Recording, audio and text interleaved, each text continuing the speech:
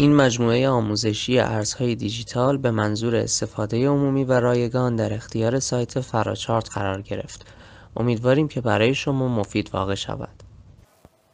با سلام و درود پارسا یوسفی هستم تحلیلگر بازارهای مالی با یکی دیگه از قسمت آموزش ها در خدمت شما عزیزان هستم در دو قسمت قبلی ویدئویی که گرفتیم یه مقدار در رابطه با مقدمه و اصول ابتدایی بازار بود. از این قسمت به بعد یک مقدار مباحث تخصصی تر میشه. توی این قسمت می‌خوام راجع به والت یا همون کیف پول صحبت کنیم. توی این قسمت قسمت های مختلفی داریم مثل اینکه سازوکار یک والت چیه. قسمت های مختلف و انواع مختلف یک والت یا همون کیف پول رو میگیم مزایا و معایب هر کدوم رو میگیم.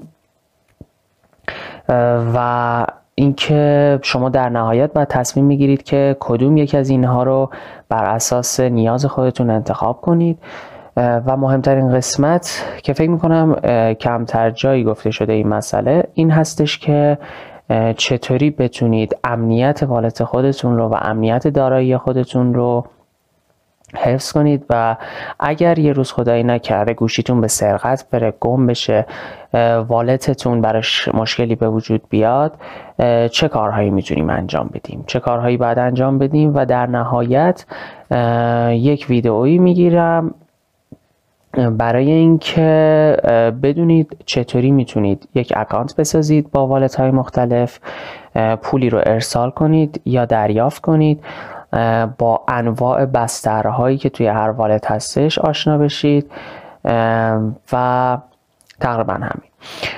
و اینکه علت اینکه می‌خوام این قسمت رو بگم اینه که دیدم با اینکه خیلی افراد زیادی توی این بازار فعال هستن اما عمدتا بسترهایی که توی والت ها هستن رو بعضی وقتا اشتباه می‌کنن. بعضی وقتا کمیسیون ها رو در نظر نمی‌گیرن. این با... مسئله باعث میشه که شما اگر کاملا به زیر و بم این بازار آشنا نباشید با یک کلیک باعث به وجود اومدن مشکل باعث از دست رفتن سرمایتون و آسیب ها و ضررهای دیگه بشه.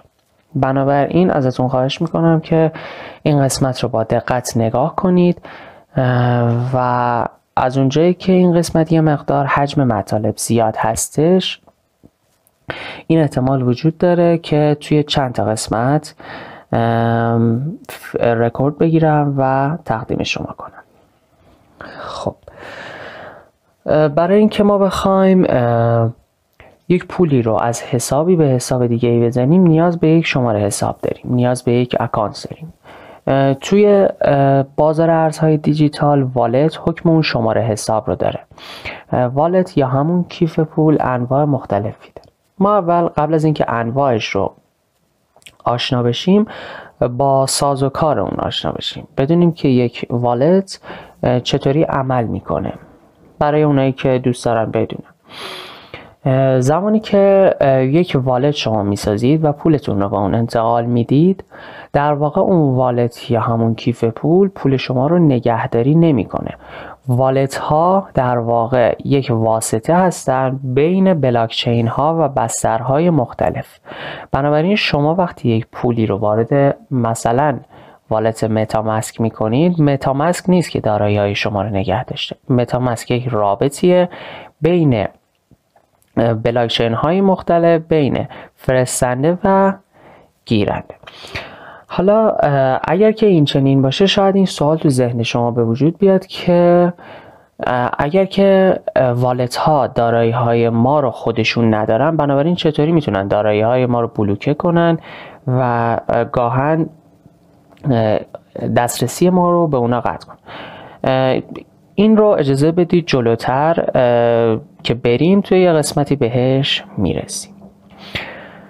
توی کیف پول دو تا اصطلاح داریم که به نظر من مهمترین قسمت یک کیف پول هستش. Public Key and Private Key. اول Private Key رو توضیح میدیم. Private Key اون کدی هستش که شما زمانی که wallet رو می‌سازید به شما میده. اون کد کد دسترسی شما به wallet تون هست. اگر گم بشه اگر کسی اون رو برداره هک بکنه بدزده یا به هر نحوی بهش دسترسی پیدا کنه در واقع دسترسی پیدا کرده به کل دارایی های شما. بنابراین کدی که به عنوان Private Key شما توی wallet دریافت می‌کنید رو خیلی باید مراقبش باشید. اون کد رو من خودم به شخصه پیشنهاد می‌کنم که توی کامپیوتر فلش درایو هارد و این چیزها نگهداری نکنید و توی فضای مجازی توی مثلا قسمت های مختلف مثل واتساپ تلگرام اینا نگهداری نکنید. کلا سعی کنید پرایوت کیتون رو روی کاغذ بنویسید. کاغذ هم در دسترس همه قرار ندید و یه جای مطمئن قرار بدید و روی چند تا کاغذ بنویسید که اگر یکیش گم شد دسترسیتون رو به اون از دست ندید. بنابراین Private Key در واقع کلید دسترسی شما به دارایی هاتون هستش که باید ازش مراقبت کنید. دست کسی دیگه این نیفته و خودتون هم فراموش نکنید. یک Private Key به ما کمک می‌کنه تا یک Public Key بسازیم.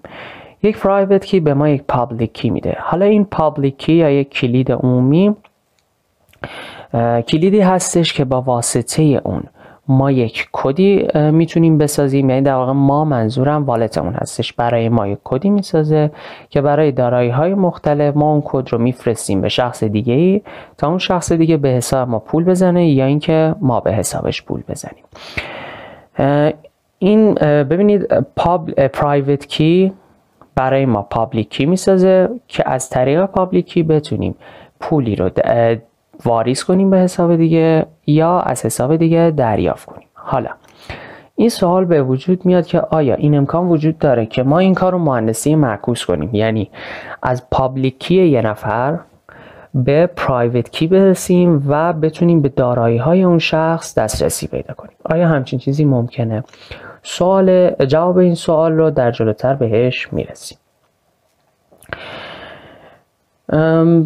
عمدتا والت هایی که امروزه هستن خیلی هاشون نه همشون اونایی که یه مقدار پیشرفته ترن دیگه به ما پرایوت کی نمیدن. یه سید فریز میدن به ما. این سید فریزی که میده ترکیبی هستش از چندین پرایوت کی مختلف. این مسئله باعث میشه که یک امنیت کار ما بره بالاتر و دوم دسترسی به اون آسون تر بشه طبق حالا پروتکلی که هر والتی داره سید فریز یک کد 12 رقمی یا 24 رقمی هستش که به ما میده. اون سید فریز هستش که ما باید یک جا نگهداری کنیم که گفتم پیشنهاد می‌کنم شدیدن که تو جاهایی که دسترسی به اینترنت دارم مثل کامپیوتر موبایل یا هر جای دیگه نگهداری نکنیم. خب و اما می‌رسیم به انواع مختلف والت ها یا همون کیفه بود. ما به طور کلی دو نوع والت داریم والت گرم یا همون هات والت والت سرد یا کولد والت. والت گرم یا همون هات والت این اصطلاحی هستش که به والت هایی اختصاص میدن که به اینترنت دسترسی دارن و با اینترنت کار می‌کنن. از انواع hot wallet ها می‌تونیم به web wallet، desktop wallet و mobile wallet اشاره کنیم. و در مقابل cold wallet رو داریم. cold wallet در واقع یک کیف پولی هستش که به اینترنت دسترسی نداره.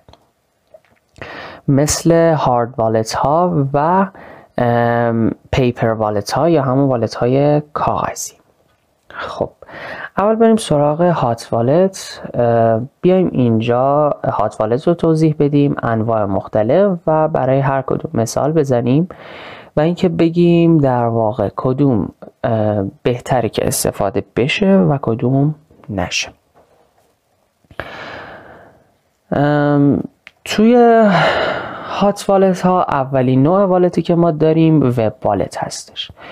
وب والت در واقع نیازی نیستش که شما برنامه ای رو دانلود کنید. یعنی یک برنامه نداره. یک وبسایته که از طریق براوزر شما می‌تونید به اون دسترسی داشته باشید. یکی از نکات مثبت و یکی از حسن هایی که وب والت ها دارن این هستش که شما دیگه نیازی نیستش که نگران سید فریز یا همون پرایوت کیتون باشه. نیازی نیستش نگران امنیتتون باشید. نیازی نیستش که نگران این مسئله باشید که آیا اون سید فریز رو گم بکنید یا نکنید. وقتی که شما یک سید فریز رو گم بکنید می‌تونید با شماره موبایلی که به اون وب والت دادید با در واقع کد هایی که دادید با SMS Authenticator که به اون دادید یا هر نوع دسترسی دیگه اون رو در واقع اون کد رو ریکاوری کنید. این یکی از حسن هایی که داره. مثل بانک میمونه که شما وقتی پولتون رو می‌دید به بانک دیگه نگران نگهداری اون نیستید و نگهداریش میفته بر عهده بانک. و اما از عیب هایی که داره اینه که وب والت ها شده که بارها هک شدن و خیلی امنیت بالایی نداره. به همین دلیل من خودم به شخصه پیشنهاد می‌کنم که از وب والت ها برای نگهداری دارایی هاتون خیلی استفاده نکنید. ولی به هر حال این انتخابش با شما هستش. انواع وب والتی که ما داریم کوین بیس، گرین ادرس، BTC والت، خود سایت اصلی بلاکچین و چیزهای دیگه که هستن. پس گزینه اول شد وب والت که زیر مجموعه از هات والت ها یا همون والت هایی که دسترسی دارن به اینترنت. گزینه دوم دسکتاپ والت هستش. دسکتاپ والت در مقابل دسکتاپ والت ما موبایل والت رو داریم که روی گوشی نصب میشه. دسکتاپ والت یک برنامه ای داره که شما این برنامه رو دانلود و نصب می‌کنید روی سیستمتون. و برنامه ای که نصب می‌کنید یکی از شاید بگم عیب هایی که خب سیستم داره اینه که حسگر اثر انگشت نداره. من اگه بخوام قیاسی انجام بدم بین دسکتاپ والت و در واقع موبایل والت؟ این هستش که موبایل والت یک لایه امنیتی بیشتر داره نسبت به دسکتاپ والت. و اون هم در واقع حسگر اثر انگشتی هستی که شما بهش, بهش می‌دید و دسترسی رو یه مقدار سختتر می‌کنه.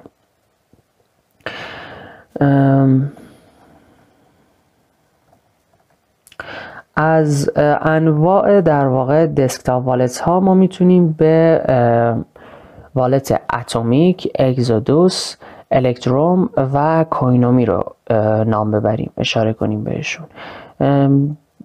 Exodus رو از این جهت من قرمز کردم به خاطر اینکه IP ایران رو توی blacklist خودش قرار داده. شما می‌تونید با یک وی پی آی پی ثابت بهش دسترسی پیدا کنید. اما ما برای اینکه روزه شکدار نگیریم پیشنهاد می‌کنیم که به طور کلی از Exodus استفاده نکنیم. چون که به هر حال امکان وجود داره که یک زمان با تغییر IP VPN این مسئله رو شناسایی کنن که شما از ایران هستید و خدایی نکرده برای دارایی هاتون مشکل پیش بیاد. از desktop wallet ها شما می‌تونید از Atomic استفاده کنید به ترتیب اگر بخوایم اولویت بگیم Atomic، Coinomi، Electrum و چیزهای دیگه ای که هستن.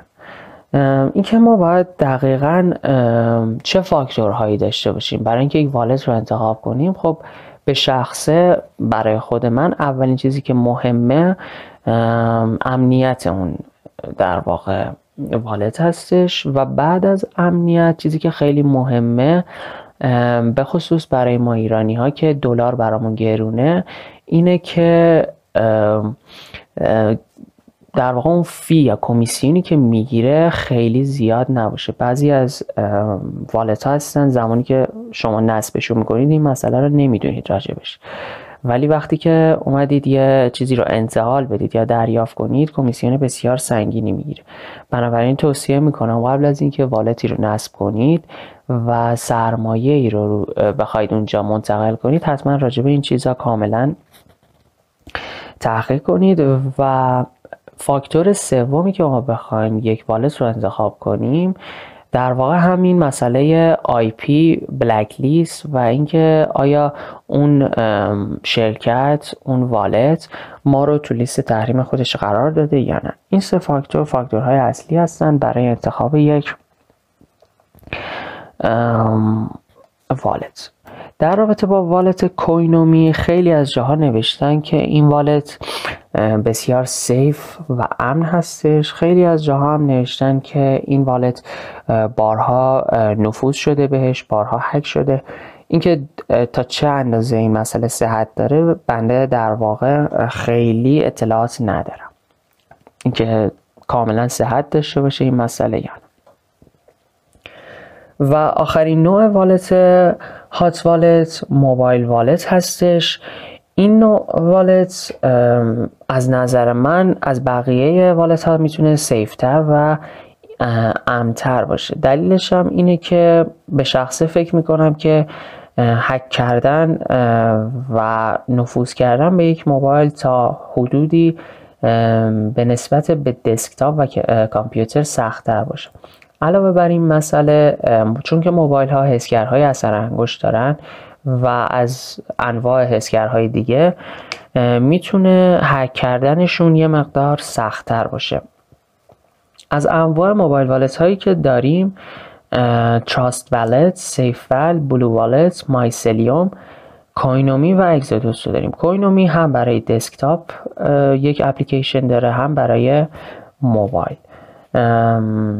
از بین اینها از نظر خود من Trust Wallet خیلی امن‌تر و بعد SafePal هستش. Trust Wallet از این جهت امنه که چندین لایه در واقع امنیتی داره.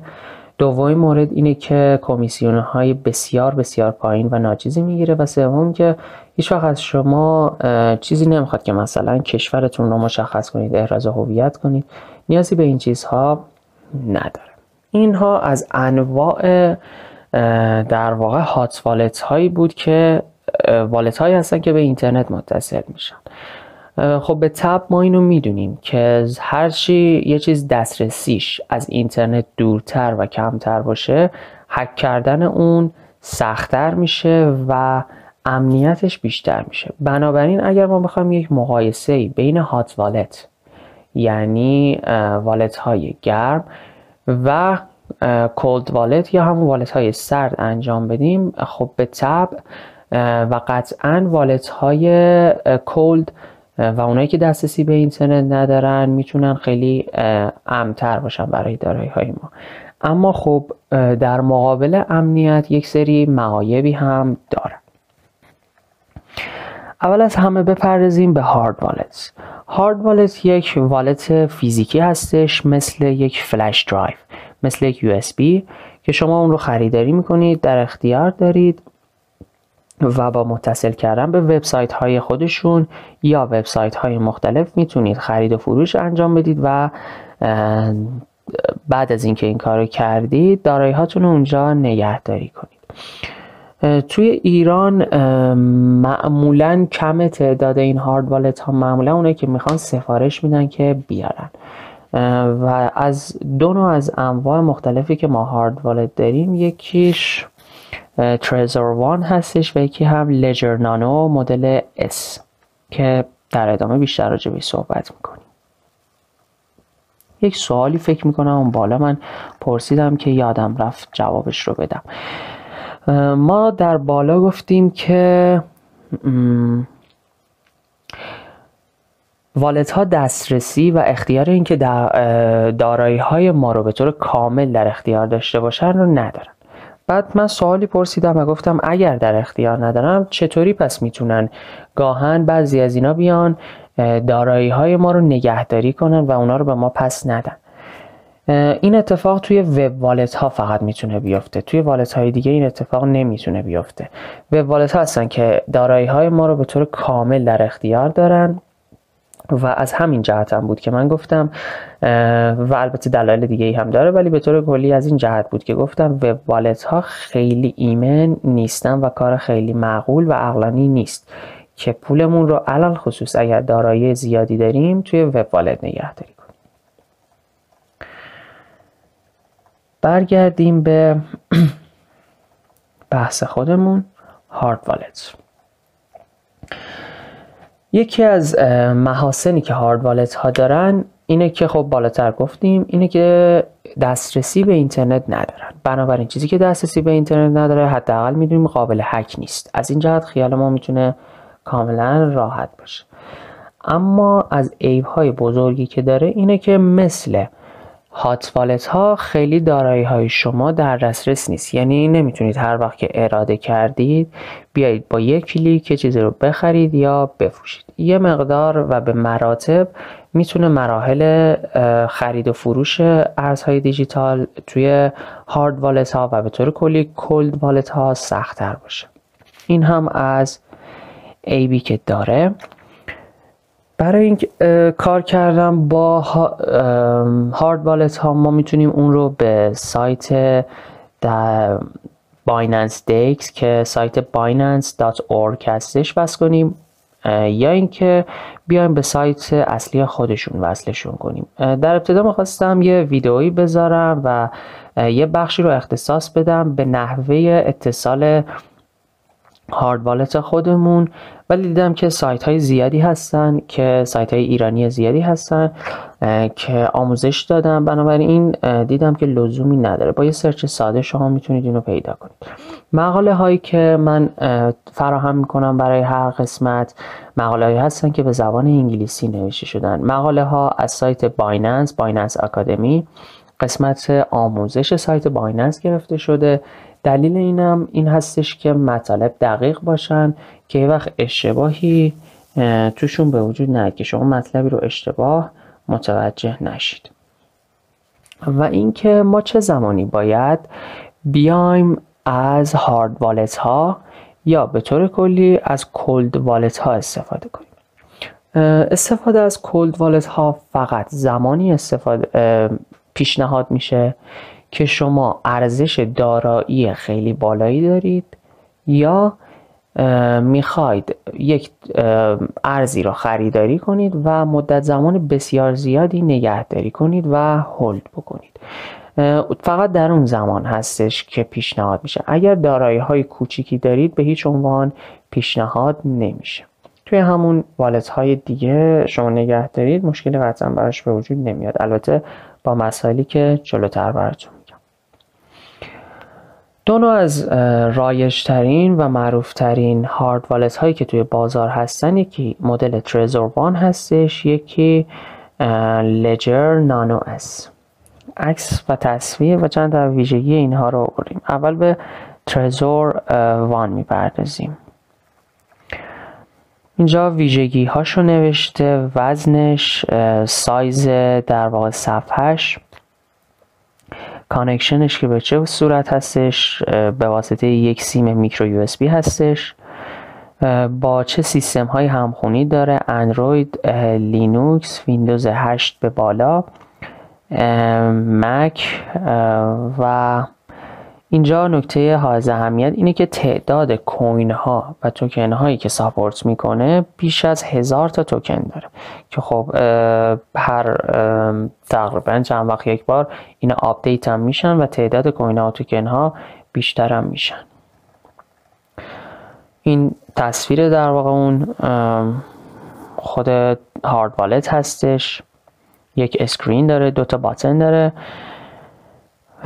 و طبق گزارش سایت بایننس یه سری محاسن و یک سری معایب داره. مثلا از محاسنش اینه که asset ها و دارایی های زیادی رو support می‌کنه بیش از هزار تا ارز دیجیتال رو support می‌کنه. قیمت مناسبی داره و فرمورش اوپن سورس هستش یعنی محدود نیستش و قابل تغییره. و اما از معایبش می‌تونیم به این بگیم که فلیمزی هستش. یعنی خیلی ساختار قوی نداره یه مقدار سبکه خیلی به طور کلی چیز مقاوم و محکمی نیستش. و یه عیب دیگه که داره اینه که در واقع صفحه کوچیکی داره. البته اگه صفحهش رو دقت کنید نسبت به مدل نانو لجر بزرگتر هستش.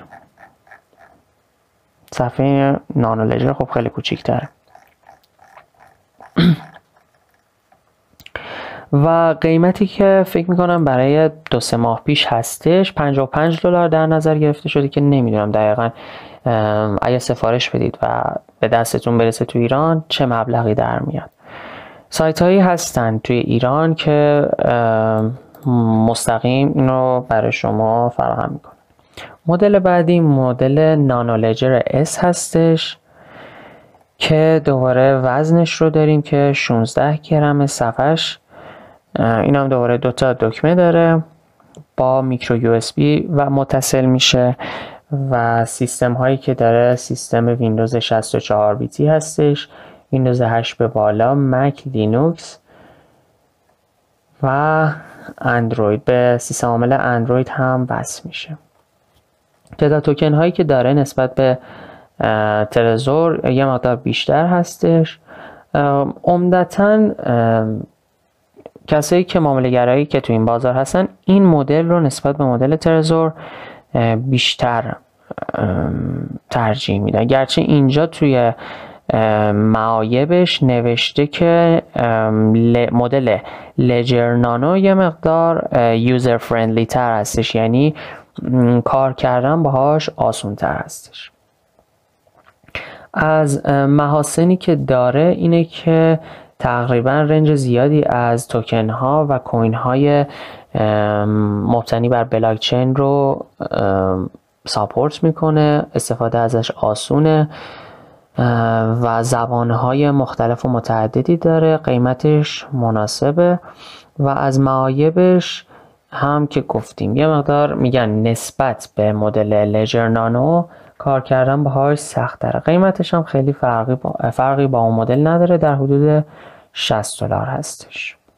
این از هارد والت ها که نحوه اتصال و کار کردن توی سایت های فارسی به وفور هستش. با یه سرچ ساده می‌تونید بهش برسید.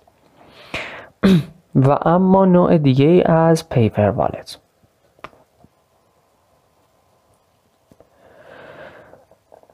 نوع دیگه ای که از cold wallet ها داریم paper wallet هستش. paper wallet یک wallet یه که در اختیار شما هستش مثل یک پاوربانک یک wallet کاغذی هستش که آدرس شما و private key شما به صورت QR code روی اون کاغذ هک شده. از محاسن خیلی خوبی که داره اینه که این wallet ها عمدتا در برابر هک خیلی خیلی مقاومن و عملا هک کردن اونها غیر ممکنه چون که اصلا به اینترنت دسترسی ندارن. فقط در صورتی می‌تونن به اون دسترسی داشته باشن که از دست شما بزنن. یعنی کارتش رو از دست شما بدوزن این تنها راهشه که می‌تونن به دارایی های شما دسترسی داشته باشن و اما پیپر والت ها یک مشکل خیلی بزرگ و اساسی که دارن اینه که شما مثلا فرض کنید 5 تا بیت کوین دارید می‌خواید از این 5 تا بیت کوین دو تاشو انتقال بدید. همچین چیزی ممکن نیستش. یعنی به صورت خورد شما نمی‌تونید دارایی هاتون رو منتقل کنید. این از بزرگترین در واقع عیب هایی هستش که paper wallet ها دارن. باید شما 5 تا بیت کوین رو انتقال بدید به یه مثلا والتی مثل هارد والت یا والت دسکتاپی یا هر نوع دیگه بعد اون شخص بقیهش رو برای شما برگردونه. یعنی به صورت خورد شما نمی‌تونید. کل بالانس و کل دارایی رو باید انتقال بدید. عمدتا خیلی پیپر والت پیشنهاد نمیشه و امروزه دیگه تقریبا داره منسوخ میشه پیپر والت ها و اگر گفتم برای دارایی های بزرگ می‌خواید چیزی استفاده کنید بهتره که از هارد والت ها و والت های فیزیکی استفاده کنید.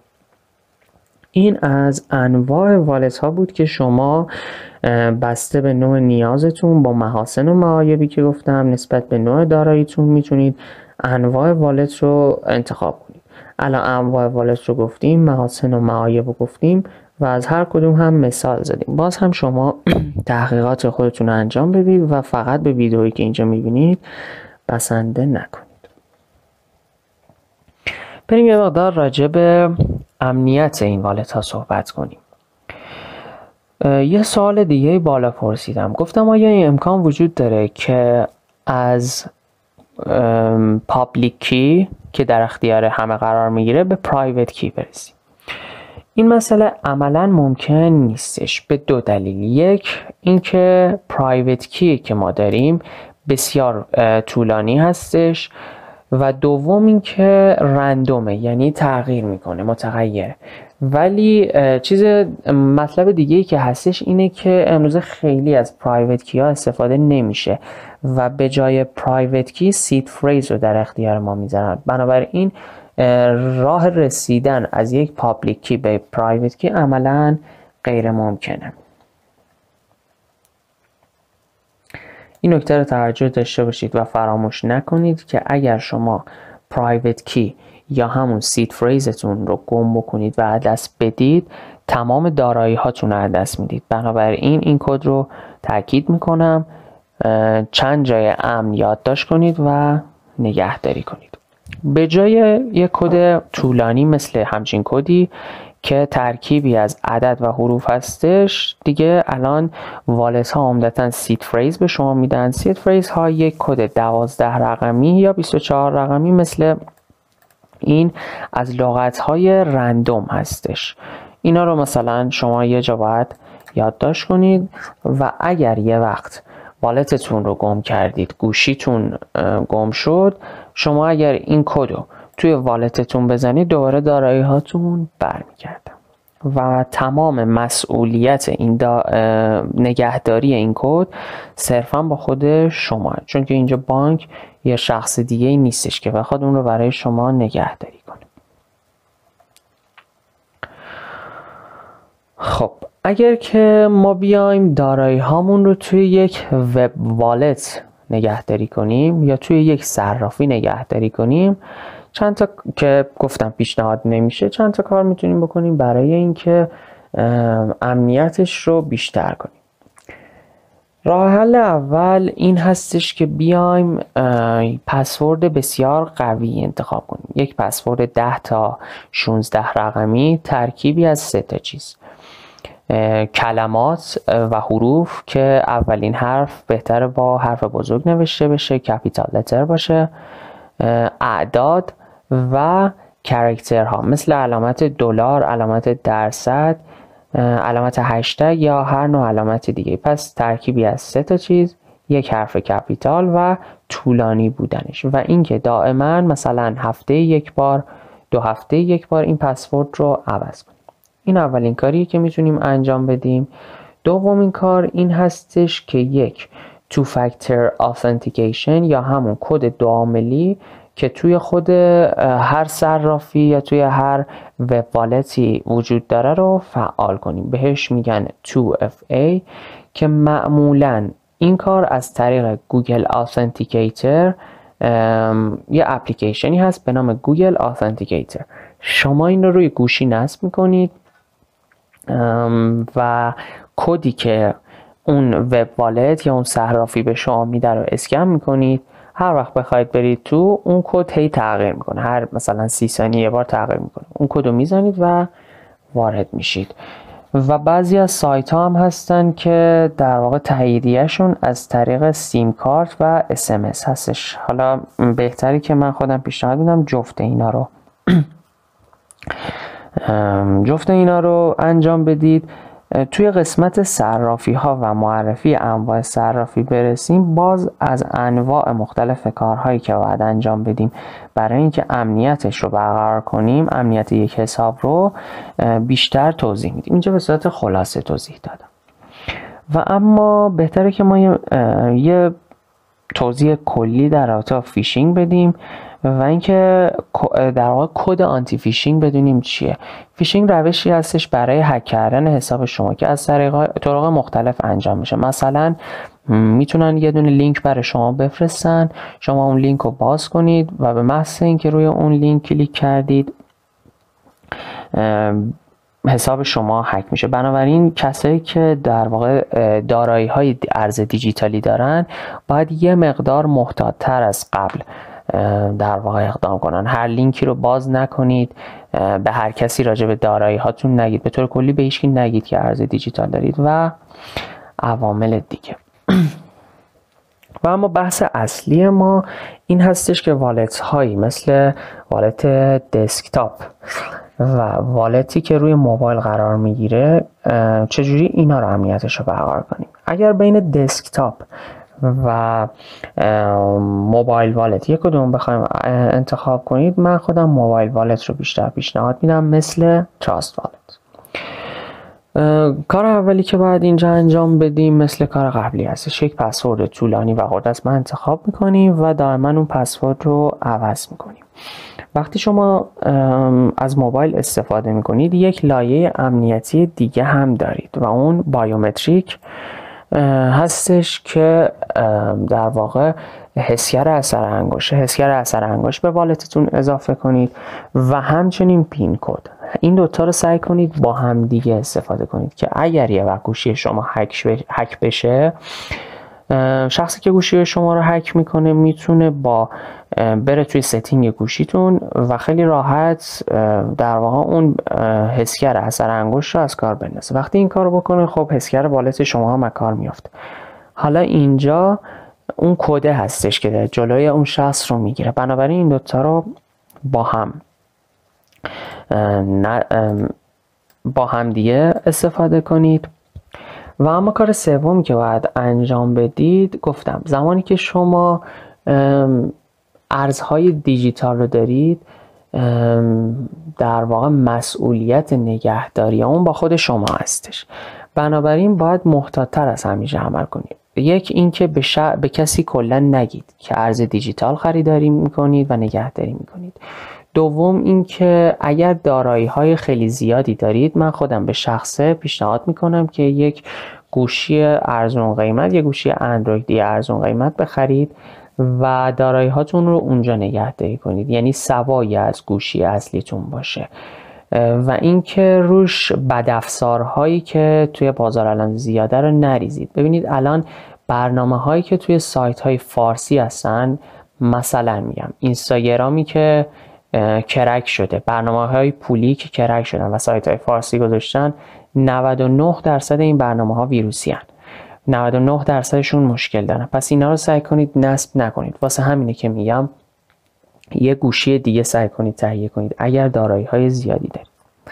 و بد نیستش که یک آنتی ویروس license دار قدرتمند مثل مثلا NOD روی سیستمتون یا روی گوشیتون نصب کنید که اگر توی وبسایتی میرید که مشکل داره اگر فیشینگ قرار اتفاق بیفته. اگر هر نوع حمله ای بخواد انجام بشه اون آنتی ویروس بتونه جلوش رو بگیره. و اما یکی از مسائلی که شاید یه مقدار عجیب به نظر بیاد چون که هممون داریم این برنامه ها رو اینه که اون گوشی که wallet ما روش هستش برنامه های social media مثل فیسبوک، واتساپ، اینستاگرام و امثال اینها رو روش نصب نکنیم. اگر هم نصب می‌کنیم خیلی محتاط باشیم. مثلا ایمیلی که باهاش wallet رو ساختید حسابتون رو ساختید با اون ایمیل نیاد اینستاگرامتون رو بسازید. در رابطه با این سه تا برنامه که در واقع صاحب هر ستاش هم آقای مارک زاکربرگ هستش این هشدار رو بدم که اصلا و تحت هیچ شرایطی امنیت ندارن این برنامه ها اگر دقت کنید و اخبار رو دنبال کنید هر ساله می‌بینید که آقای مارک زاکربرگ میاد میگه که حساب مثلا ده هزار کاربر فیسبوک یا اینستاگرام لو رفت. بعد مطلبی که خیلی جالبه اینه که نه معذرت خواهی می‌کنه نه میاد میگه که چی شد نه پیگیری می‌کنه فقط میگه هک شد. هر سال این اتفاق داره میفته الان چند ساله. دو سال یه بار یک سال یه بار میگه که حساب فلان قد کاربر هک شد. کلا به طور کلی من خودم این مدلی هم هر جایی که رد پایی از آقای مارک زاکربرگ می‌بینید فرار کنید. اینستاگرام واتساپ فیسبوک این ستا مال این شخصه. بنابراین این کار رو نکنید و روی گوشی که در واقع این برنامه رو دارید این ستا برنامه رو نداشته باشید. و اینکه اگر می‌خواید آدرسی برای دوستتون بفرستید که دارایی رو دارایی رو بگیرید یا دارایی رو ارسال کنید از این طریق نباشه. اگر هم قرار از طریقی باشه من خودم تلگرام رو پیشنهاد و برنامه ای هستش که بسیار امن دسترسی به در واقع گوشی شما نداره خیلی به پرایوسی و اون حریم خصوصی در واقع اهمیت میده. اگه دقت کنید فکر می‌کنم چند ماه پیش بود که واتساپ می‌خواست به اطلاعات کاربرا دسترسی داشته باشه. انقدر با واکنش منفی روبرو شد که گفتش فعلا این طرح متوقف می‌کنم. ولی به طور کلی در آینده این کار رو انجام میده. من خودم بارها اکانت های مختلفم توی اینستاگرام و توی فیسبوک هک شدن. و اصلا امنیت ندارن. به همین دلیل پیشنهاد می‌کنم روی گوشی که والت و دارایی های دیجیتال دارید این سه تا برنامه رو دورش رو خط بکشید. خب می‌رسیم به قسمت بسیار مهم. فرض کنید من یک گوشی دارم روش والتی نصب کردم دارایی های زیادی دارم. اگر گوشی من رو خدایی نکرده دزد زد. سوخت گم شد یا هر اتفاقی که براش افتاد. اگر والتم در واقع از بین رفت. اگر به هر دلیلی گوشیم فلش شد و ریست فکتری شد و برنامه, برنامه هم همش برید. اون موقع چه کاری بعد انجام بدم؟ ببینید اگر که برنامه ها پاک شد که خب شما میاد wallet رو دوباره نصب می‌کنید کد 12 رقمی seed phrase رو به wallet تون می‌دید و برمیگردید. این که یک مطلب جدا. اما اگر دزد چی کار کنیم؟ دزد یا گوشی گم شد. کار اولی که شما باید انجام بدید اینه که IMEI گوشی که یک کد هستش فکر می‌کنم یک کد ده رقمی. اونو همین الان که دارید این ویدیو رو می‌بینید یک جای امن یادداشت کنید. این کد رو می‌تونید از روی جعبه موبایلتون ببینید یا کد ستاره مربع 06 مربع رو اگر شماره گیری کنید اون کد رو به شما میده. دو تا کد میده. هر دو تا کد رو یک جا یادداشت کنید. وقتی که این کار رو کردید وقتی که گوشیتون در دسترس نبود حالا دزد یا گم شد حساب یه چیز دیگه که یادم رفت اینه که گوشیتون رو به جیمیل وصل کنید. حتما به یک جیمیل وصل کنید. اگر این اتفاق افتاد میرید توی گوگل داشبورد. قسمت گوگل داشبورد رو باز می‌کنید. توی گوگل داشبورد که میرید یه قسمتی وجود داره. حالا اگر device تون iOS iOS اگر اندروید اندروید. توی این قسمت میرید گوشیتون رو مدلش حالا هرچی بوده انتخاب می‌کنید. شما اینجا دو تا راه دارید. یک اگر گوشیتون براتون مهمه می‌تونید بیاید چیکار کنید؟ می‌تونید بیاید find my device رو بزنید و دستگاهتون رو پیدا کنید. پاشید برید بالای بالا سر دستگاهتون حالا هر جایی که هستش. دو راه دومی که دارید. اگر دارایی هاتون زیاده و براتون حائز اهمیت تر نسبت به پیدا کردن گوشیتون Erase Device رو بزنید. پایین سمت چپ یه گزینه ای داره به نام Erase Device. اینو که بزنید هرچی برنامه و اطلاعات تو گوشیتون هستش پاک میشه و خب به تب والتی هم که اون تو دارید پاک میشه اما دیگه قابل دسترسی نی یعنی گوشیتون رو دیگه نمی‌تونید پیدا کنید. بنابراین اگر این اتفاق افتاد شما باید بین گوشیتون و دارایی های توی گوشیتون یک کدوم رو انتخاب کنید. و کار بعدی که می‌کنید میرید توی سایت همیاب 24 اون کد IMEI و اطلاعات فردی خودتون رو وارد می‌کنید به عنوان گوشی سرقت شده و خود حالا افراد مربوطه براتون پیدا می‌کنن گوشی رو. این از کاری که باید انجام بدید. حالا فرض رو بر این بذاریم که شما نتونستید این کار انجام بدید. به هر دلیلی نشد. شما بلا فاصله بیاید والتی که روی گوشیتون نصب بوده رو نصب کنید. والتتون رو با سید فریزی که دارید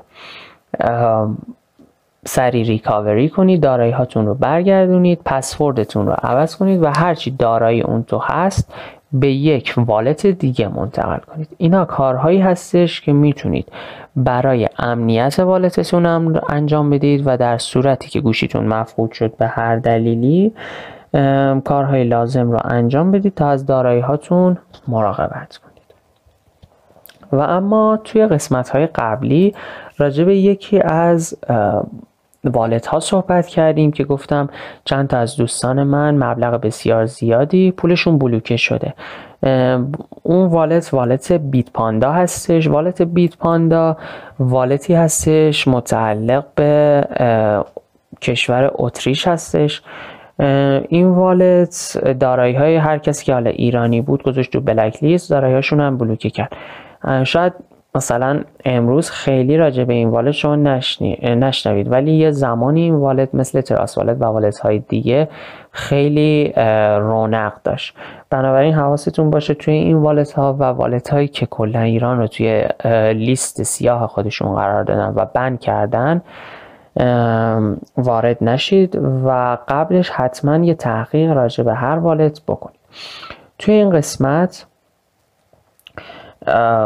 در واقع ساز و کار یک والت رو گفتیم انواع مختلف والت رو گفتیم محاسن و معایب هر کدوم. اینکه کدوم رو بهتر انتخاب کنیم برای برقراری امنیتشون چیکار بکنیم و در صورتی که اون دیوایسی که داریم استفاده می‌کنیم گم شد چه کارهایی رو انجام بدیم برای اینکه دارایی هامون ایمن بمونن توی قسمت حالا که اینا رو همه رو متوجه شدید الان شما ویدیو حجمش یه مقدار داره زیاد میشه. من ویدیو رو یک بار استوب می‌کنم یک قسمت کوچیک دیگه می‌سازم. برای اینکه بریم با هم یکی از والت های دسکتاپی رو باز کنیم. توی اون قسمت بهتون نشون میدم چطوری یک والت بسازید یک پسورد خوب براش انتخاب کنید سیت فریزش رو با هم می‌بینید و نحوه دریافت و ارسال دارایی رو میگم و اینکه چطوری در واقع پیدا کنیم هر دارایی چقدر کمیسیون برای ارسال یا دریافتش هستش و تمام اقدامات لازم و کار کردن با یک والت رو توی اون قسمت میگم. بریم سراغ قسمت بعدی. با سلام و درود مجدد. خب توی این قسمت با توجه به اینکه قسمت های مختلف یک والت طرز کارش انواع مختلفش رو یاد گرفتیم. حالا توی این قسمت بریم با هم یکی از والت ها رو راه اندازی کنیم. بیشتر از یه دونه نیازی نیستش چون که تقریبا سازوکار همشون به یک صورت با یک کمی تفاوت. این wallet ی که در نظر گرفتم wallet اتمیک هستش wallet desktop. وقتی که برنامه رو نصب می‌کنید اول از شما می‌خواد یه password set کنید. پسوردی هم که قرار ست کنید قبلا راجع صحبت کردیم. گفتیم شامل سه قسمت باید باشه. یکی حروف که این حروف بهتره یک حرف بزرگ داشته باشه. اعداد و کرکترها و طولانی بودنش هم خودش یک حسن, حسن محسوب میشه. خب. یه پسوردی که بذاریم مثلا. پارسا. یوسفی پی بزرگ وای بزرگ. یک دو سه چهار. چهار تا علامت تعجب. دور همین پسورد رو پای می‌زنیم.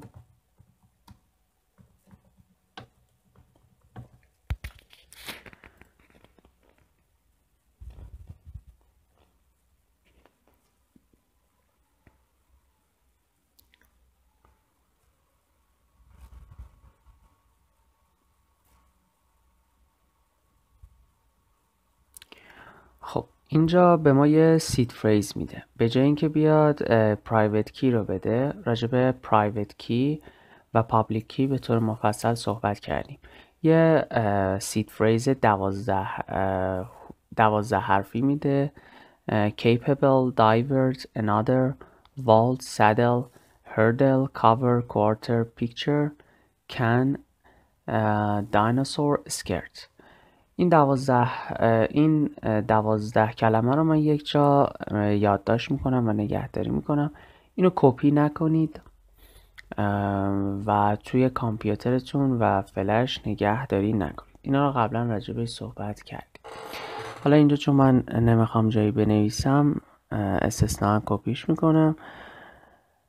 و اوپن والت رو می‌زنیم البته یه مشکلی که اینجا داره والت اتمیک اینه که بکاپ نمی‌گیره. والت های دیگه از شما بکاپ می‌گیرن و از شما می‌خوان این کد رو یک بار دیگه این دوازده حروف رو این دوازده لغت رو بیاید و دوباره استفاده کنید. به این صورت بکاپ می‌گیره از اون کد شما. ولی این اتم والت اتمیک والت اتمیک این کار انجام نمیده. خب والت اتمیک سوای از والت های دیگه دو قسمت داره اکسچنج و صرافیه که شما می‌تونید از اونجا چیزی بخرید یا بفروشید. با فیات های مختلف می‌تونید مثل پوند، دلار، یورو، ین می‌تونید کریپتوهای مختلف بخرید. و توی قسمت اکسچنج هم یک صرافی غیر متمرکز هستش که می‌تونید پولاتون رو تبدیل کنید. مثلا اتریوم رو به بیت کوین تبدیل کنید و چیزهای دیگه. توی قسمت هیستوری سابقه تراکنشاتون هستش. توی قسمت استیک که همون قسمت سپرده گذاری هستش که در آینده راجبش صحبت می‌کنیم یکی از راه های کسب درآمد مناسب هستش. توی قسمت ستینگ که میاید یه قسمت داره مربوط به کشبک. اینو اکثر والت ها ندارن. قسمت کشبک قسمتیه که شما یه پولی می‌دید و این قسمت رو فعال می‌کنید. بعد از اینکه هر پولی می‌گیرید دریافت می‌کنید و ارسال می‌کنید یه بخشیش رو به عنوان کشبک به حساب شما برمیگردونه. توی قسمت پرایوت کی که بیایم اگر من پسوردم رو یک بار بزنم.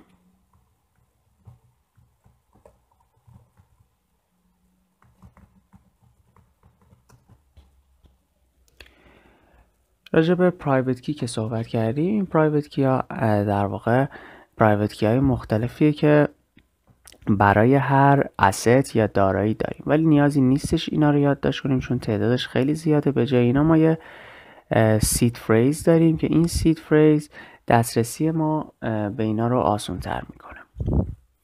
توی قسمت security که میریم اینجا فقط پسورد داریم. اما برای wallet های موبایل برای بعضی از wallet ها کد دو عاملی داریم که می‌تونیم فعال کنیم و بعضی از والت های موبایلی هم بایومتریک پسورد یا همون حسگر اثر انگشت داره که می‌تونیم فعال کنیم. اما برای دسکتاپ یعنی پسورد داریم. به همین دلیل بود که گفتم موبایل می‌تونه یک لایه امنیتی بیشتر داشته باشه نسبت به دسکتاپ. به همین دلیل بود که در واقع ارجعتر بود نسبت به والت های دسکتاپی توی قسمت والت که میریم دارایی های مختلف ارزهای مختلف وجود دارند که قبلا یه بخشی از توکن ها و کوین ها رو نشون دادیم. روی این گزینه اگه بزنید انواع کوین ها و انواع توکن ها وجود دارن. مثلا من الان می‌خوام توکن هایی که هستن رو غیر فعال کنم. به این صورت این tick و برمیدارم coin ها رو بخوام غیر فعال کنم. یعنی که بخوام رو هر کدومش کلیک کنم و فعال یا غیر فعالشون کنم. خب. حالا شخصی می‌خواد برای من بیت کوین ارسال کنه. یا اینکه مثلا خودم توی صرافی بیت کوین خریدم می‌خوام به wallet خودم منتقلش کنم.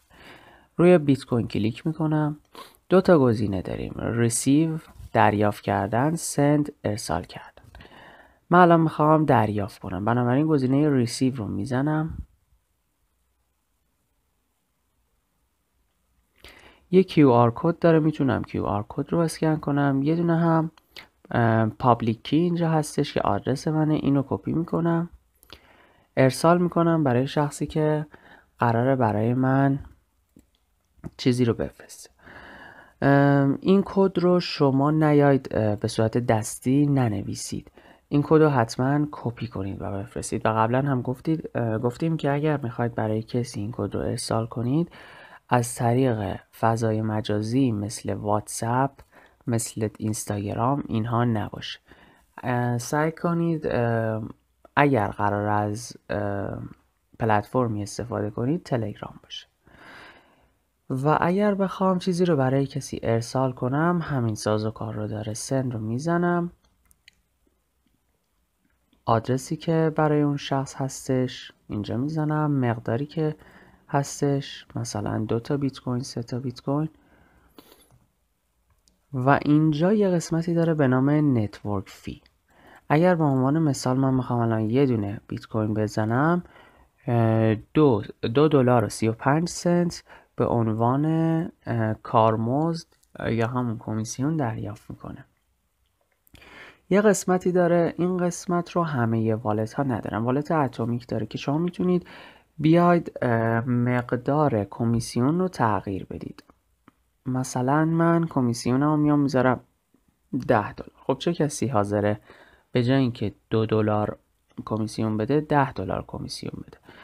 به عنوان مثلا من می‌تونم مثلا دو سنت کمیسیون بدم. اما تفاوت اینه که هر چقدر کمیسیون کمتر باشه اون در واقع سرعت ارسال کردن کمتره و هر چقدر سرعت هر چقدر کمیسیون بیشتر باشه اون سرعت ارسال کردن بیشتره. این بستگی داره به اینکه شما چقدر عجله دارید و چقدر پول دارید. می‌تونید اینو جابجا کنید. البته همه در واقع wallet ها این قسمت رو ندارن.